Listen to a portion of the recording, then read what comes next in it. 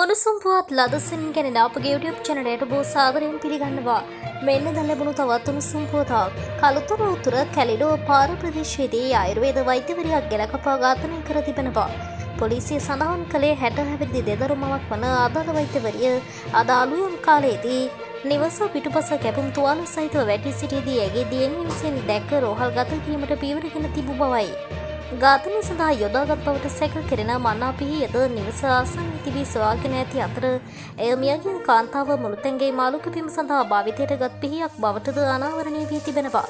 ඝාතනයට හේතුව මෙතෙක් අනාවරණය වී නොමැති අතර සිද්ධියට අදාළව සැකකරුවෙකු මෙතෙක් අත්අඩංගුවට නැහැ.